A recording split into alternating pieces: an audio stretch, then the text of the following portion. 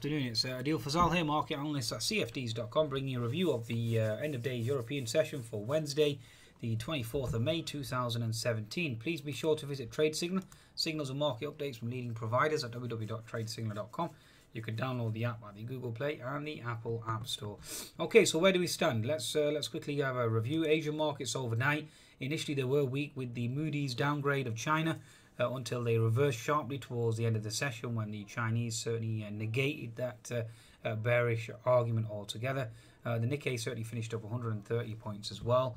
Um, now let's look at the actual Chinese market because the Chinese market is quite, quite important. The Nikkei itself certainly coming into gap fill resistance, so watch out there. In terms of the Shanghai, let's just bring that up for you as well. Daily Shanghai certainly bouncing off support even with the uh, potential Moody's downgrade. So we'll see basically if that can continue and the rally can actually start to reverse. It'll be interesting to observe.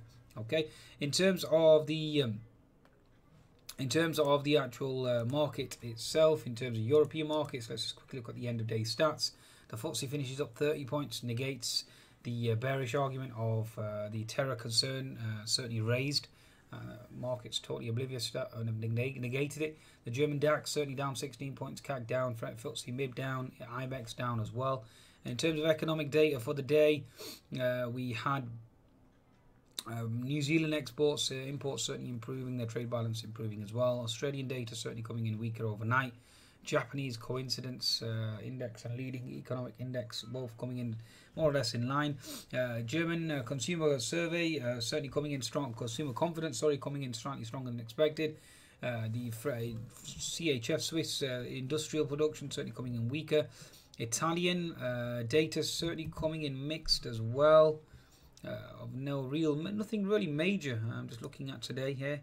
Uh, nothing uh, that strikes out in terms of the market certainly shifting either direction. Uh, let's just have a look here. Draghi as well, more or less, was on. Uh, was, well, basically, he was toeing the same line, uh, arguing that inflation still needs still subdued to a large extent. Okay, although he did acknowledge certain growth factors. U- U.S. housing prices coming in weaker, existing home sales as well weaker. Sorry, house prices came in stronger, but existing home sales came in weaker. Okay, uh, we did have job seekers uh, in France coming in slightly stronger. Uh, crude stocks as well supporting the uh, bullish argument there. And now it's uh, 60 minutes until the actual FOMC minutes, and we'll see exactly where the FOMC stands. So expect some volatility there. Okay, now in terms of the markets and uh, where where we stand from a technical perspective, let's just quickly have a look here especially given the fact that the market, is, uh, the budget, US uh, budget certainly has been released and it certainly seems to be dead on arrival. Nobody really uh, paying any respect to it at all.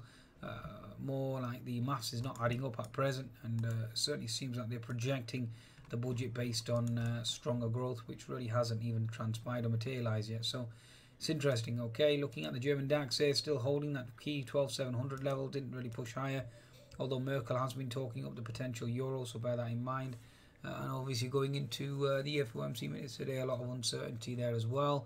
The euro has pulled back from that 1.12 level, given the fact that uh, the uh, two uh, chaps, Constancio, uh, certainly, um, if I can recollect, Constancio certainly dovish and German, and then the German, or should we say the ECB, Mr. Draghi, certainly toeing the same line as well. Looking at the DAX at the moment, you can see here we're capped at the 12660 zone, so certainly looking for weakness on the French, on the German DAX. The French CAC at the moment, let's just bring the daily chart up here. Okay, so still trading sideways, no real conviction here at all. 60 minute chart, we did hit a pivot high of uh, 335, 340. We still have the unfilled gap at 5400, so bear that in mind, especially given the fact that the uh, US markets certainly have closed the gap. In terms of the FTSE 100, let's have a look here again. It certainly did spike towards a close back up to 7520. I was expecting it to hold given the fact that it held 7512 all day. I was expecting it to hold, but that wasn't the case. We certainly surged towards the close, which is kind of interesting. Okay. Uh, again, resistance is at 7520. You've got resistance at 7522 as well. 60 minute chart, again, you're still making that lower high at 7520, so market's certainly subdued. And the daily chart as well, obviously double top with the uh, the shooting star potential hanging man type candle yesterday. So bias remains bearish. Looking at the Euro Stoxx again, same concept here, holding that uh, fib, uh, fib 61% before it actually started to sell off towards a close, certainly indicating weakness. 10 minute chart puts in a double top uh, yesterday and ever since obviously it's been moving lower so no real conviction in terms of the bulls. Okay so bear that in mind. And certainly haven't pushed the equity markets to new highs okay so that certainly remains a summation. Uh, we are looking forward to the FOMC minutes. So again like I said FOMC minutes will dictate price action. So let's certainly keep uh, an eye on there. Uh, please be sure to visit uh, cfds.com for your trading needs. And uh, be sure to take advantage of the bonus. Goodbye